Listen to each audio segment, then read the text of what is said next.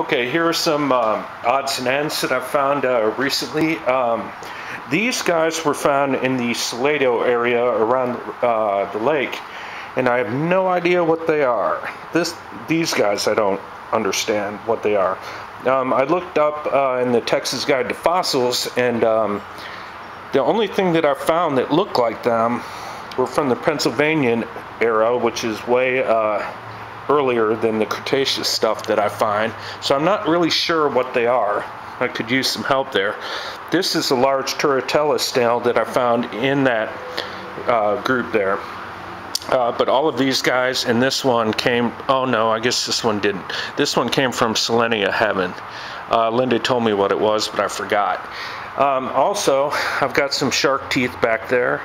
Um, the big one in the back came, believe it or not, from the Walnut Formation uh, near Killeen.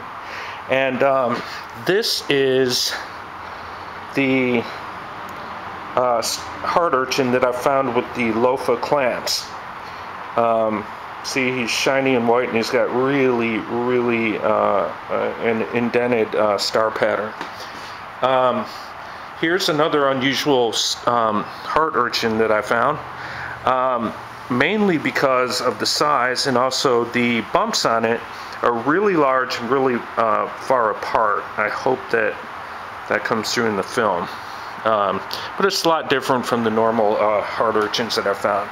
Over here is a globator, my first one. He is cool, very cool. Um, thanks to my friend by the way. Um, and these are some cool uh, Coelectopus coelectopi um, that I've found in various areas. So um, that's just some of the newer stuff that I found. I hope you enjoy it. Bye.